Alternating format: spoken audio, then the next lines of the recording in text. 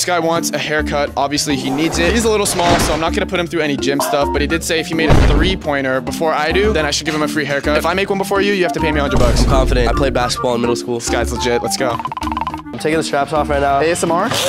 Oh, dude. You go first. Let's go! At least I hit the backboard. I am losing money making these videos, man. I make so many of these videos giving free cuts, literally losing money. Oh no. Oh, oh he almost helped me out. I look so small. I look like a dial, bro. All right, I think moving is gonna help me out, so I'm gonna go like, There's a hundred bucks on the line right now. I can't choke this shit. I can actually grab him.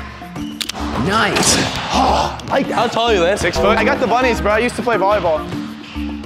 Oh! I'm out of a hundred bucks. What type of haircut do you want? Taper up the side a little bit. Keep the mullet, obviously. I gotta keep that. It's baseball season almost.